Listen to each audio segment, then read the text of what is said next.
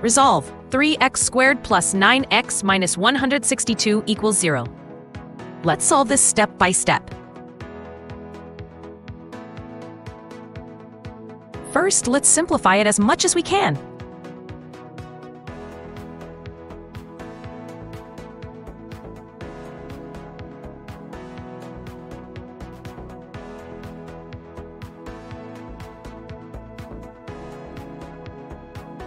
Now we'll factor it using a trinomial.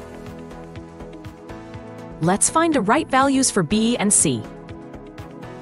We need two numbers that add up to b. And multiply together to give us c.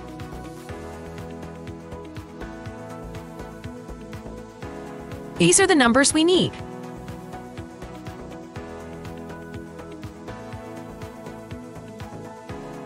Now, substitute them back into the trinomial.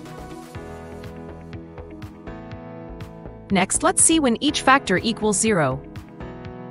We will isolate the unknown variable. Right, that's one solution.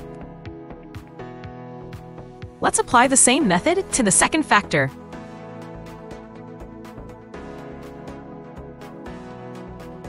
That's the second solution, so both are the final answers.